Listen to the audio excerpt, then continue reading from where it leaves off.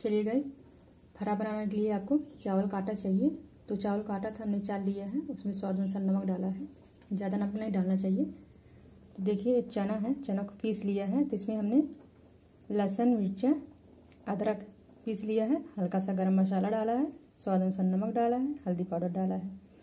तो देखिए, हम ऐसे फरा बनाएँगे, ऐसे गोला गोला करके इसमें ऐसे रख देंगे और हमारा पानी बॉईल हो जाएगा तो उसमें हम छोड़ देंगे।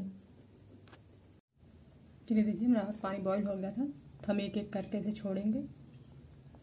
इसमें हमने तेल डाला है, पानी में तेल डाल दिया है, और धनिया का पत्ता भी काट के डाला है। आप लोग ऐसे बना कर खाइए, खाने में बहुत स्वादिष्ट होता है।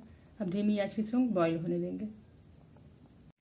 देखिए, धीमी आँच पे हम ढक के रख दिए थे फरा को। अच्छी तरीके से हमारा फरा बन गया है। तो गैस आपको ऐसे चेक करना है। देखिए, हम ऐसे करके चाकू धसा रहे हैं।